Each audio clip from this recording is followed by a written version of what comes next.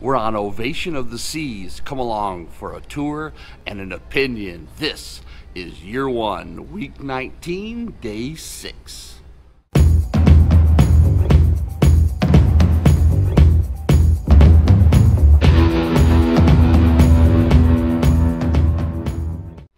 Let's start our tour in the Via on deck five and you'll see what this is, which is basically a thoroughfare from the Royal Esplanade back to 270.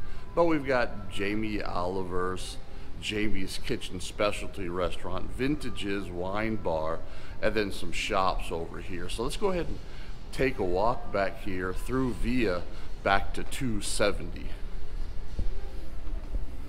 And so really what the Via is, is it's just a corridor to get you back to this new space called 270, which is absolutely amazing. So let me walk here through the Via and then I'll be back with you in 270.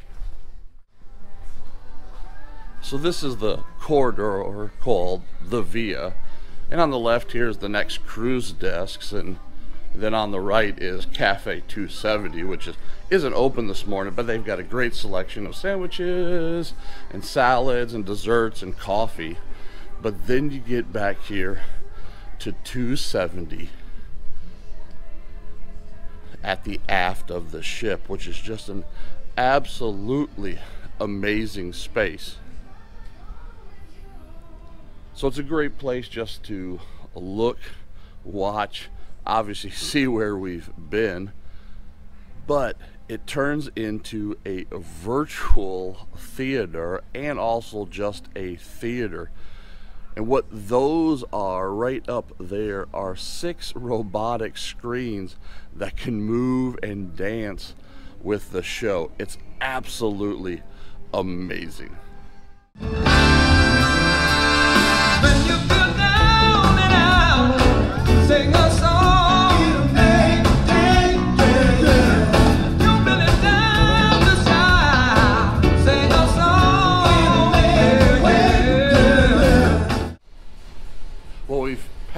Back through the via. And I'm going to show you in my opinion one of the disappointments of this ship. Even though it's a really really cold morning and windy here in the North Pacific we're gonna head outside to the deck 5 promenade. And this is one of the disappointments these large class of ships is the promenade. It's it's a nice space, but it just goes forward and aft. There's you can't promenade anymore, which is basically take the loop all the way around. So one of the disappointments for us on these classes of ships is just the size of the promenade.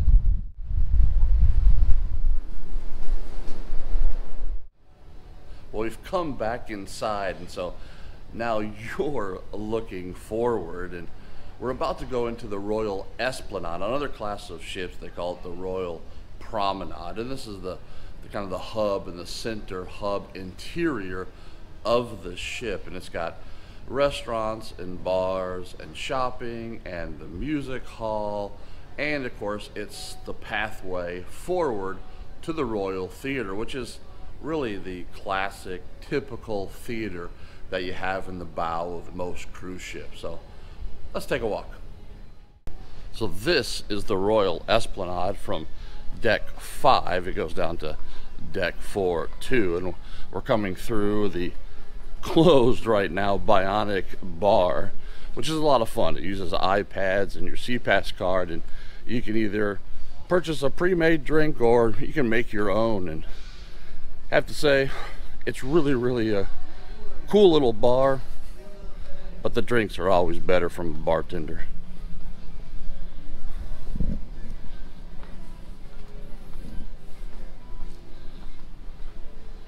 On the right here is Izumi, one of the specialty restaurants, and that's the Japanese cuisine.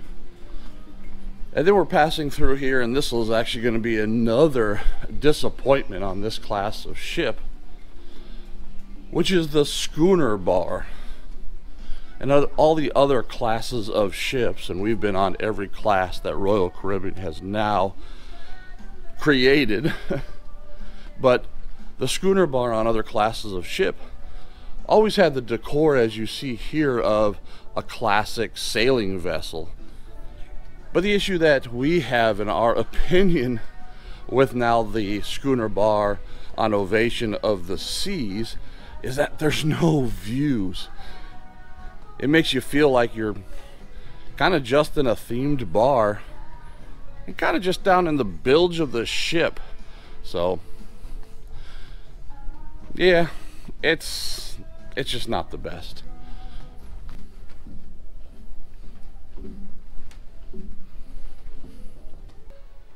Well, we've come down to deck four, and behind me here is the entrance to the theater, which is really just a typical theater that you have on most modern cruise ships. But what we'll do now here is we'll pass heading aft back in the Royal Esplanade, but now again down on deck four.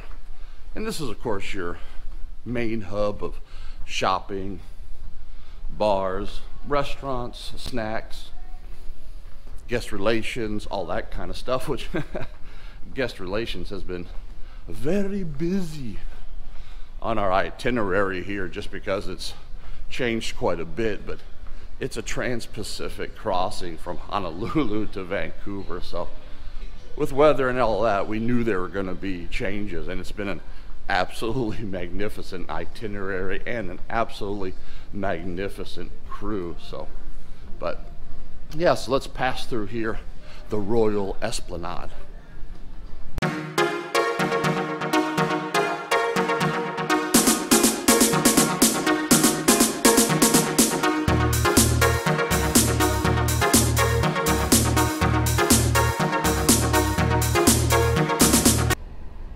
We're still on deck four, and behind me is the entrance to the dining room, or shall I say, entrance to two dining rooms. The concept here on this ship is actually four independent dining rooms. Uh, the ones on deck four are for the my time dining, and then the ones on deck three are for the classic set time dining. So the disappointment here, though, is that the decor is completely different in each of the four dining rooms, and so for that reason, then, if you don't really like the decor or the atmosphere, then you need to change either either change the room or you actually need to change from classic dining time to my dining time. So a little bit of a disappointment there.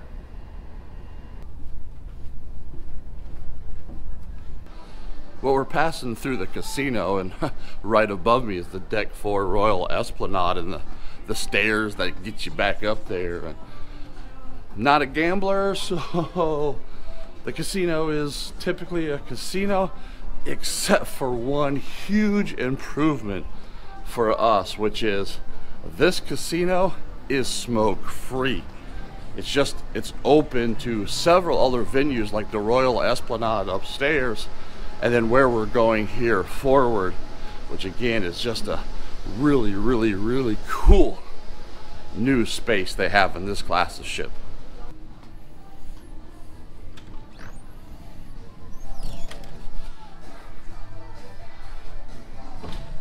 So this is the dedicated music hall for one, just great fun music. You can see it's got a, a dance floor, a bar. It is two decks tall. Great views up there at that bar on the, the upper deck. So again, another great new space that they've created in this class of ship. Well, as we ride the elevator up to topside, uh, another disappointment here, and that's just the the centrum space.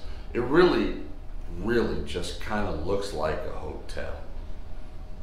So here we are topside with the, the pool deck behind me. And again, we're in the North Pacific here crossing from Honolulu to Vancouver. So it's like 50 degrees with a 30 knot wind over the bow. So uh, as you can see, nobody's out there. It's really kind of a gloomy morning, but But yeah, it's it's a very nice pool deck. It's it's typical, and this is the outdoor pool deck. So let's take a walk and let's look at some of the indoor pool spaces. So here we are on deck 14 in the indoor pool area. Very very nice space. Like on a morning like this, it gets you out of the weather. But let's go take a look at one of the best spaces on this ship.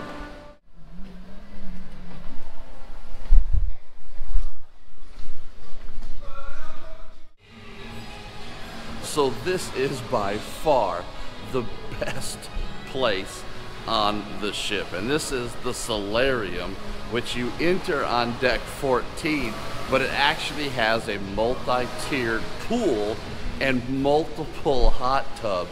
And it's in the front of the ship. It's all glass, which is amazing because next year we're going to be back here on Ovation for an Alaska itinerary and this view out the front is gonna be absolutely amazing. And with the sunshine bar here behind me, again, just a fantastic space to hang out, have drinks, watch the world go by. Absolutely amazing. This space is the best space on Ovation of the Seas.